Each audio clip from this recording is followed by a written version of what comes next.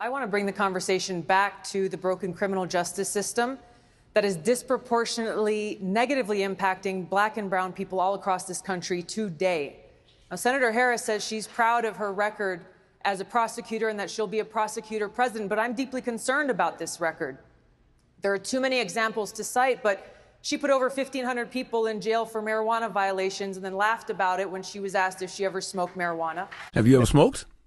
I have. Okay. Like in And I college, or- and uh, I inhale. I did. in- I You did inhale? inhale. Did inhale, okay. She blocked evidence. She blocked evidence that would have freed an innocent man from death row until the courts forced her to do so. She kept people in prison beyond their sentences to use them as cheap labor for the state of California.